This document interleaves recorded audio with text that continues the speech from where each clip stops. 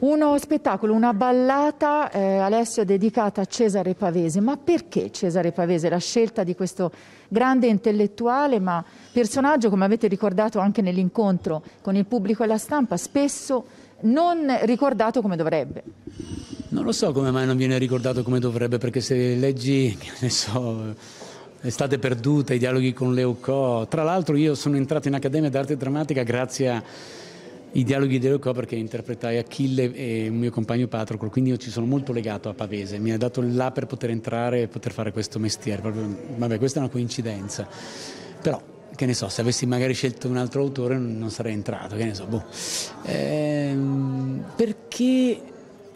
il gesto del suicidio ancora adesso, ma soprattutto nel 1950 dava molto fastidio,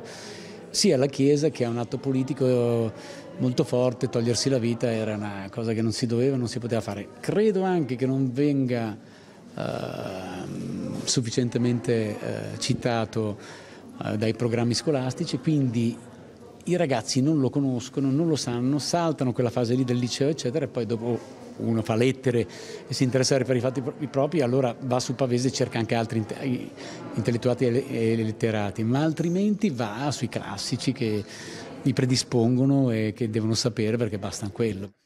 Siamo molto contenti di uh, ospitare Alessio Boni nuovamente, ricordo che già a maggio era stato presente qui al Teatro Signorelli con diciamo, un lavoro teatrale inedito che ha voluto riproporre ma è come se fosse una prima assoluta in un certo senso,